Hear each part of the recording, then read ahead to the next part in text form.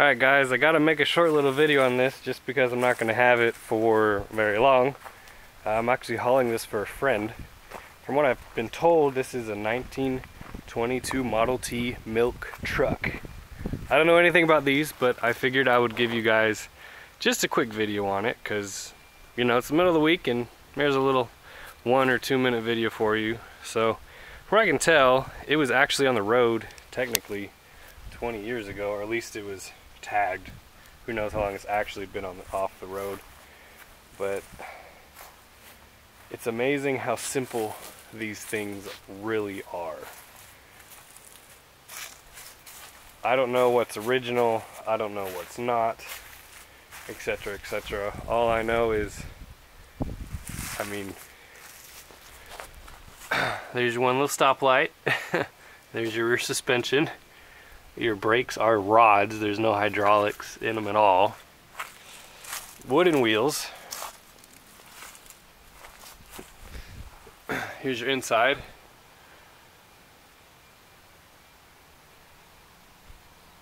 Super simple. I can show you under the hood.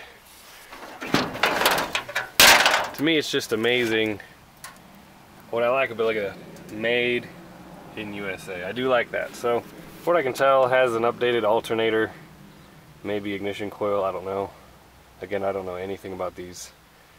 Um, looks like maybe the distributor have been updated. I feel like I remember these cars having just uh, copper copper tangs instead of spark plug wires, but I could be wrong. Little side draft carburetor. Let's go look at the other side.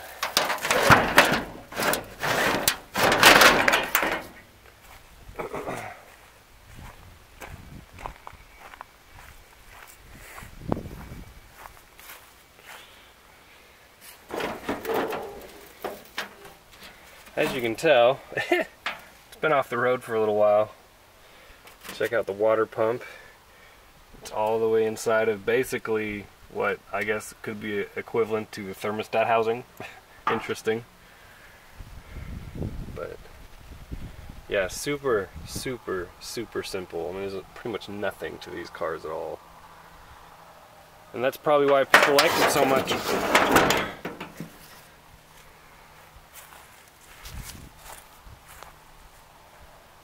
you go. There's a Ford.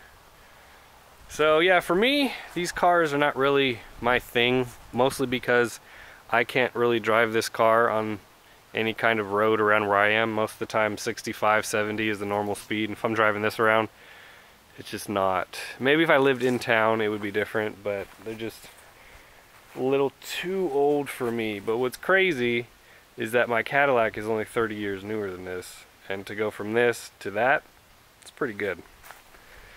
So, there you go guys. I had to make a video before it went away. I know it's nothing special and no revival, but at least you guys get to see it.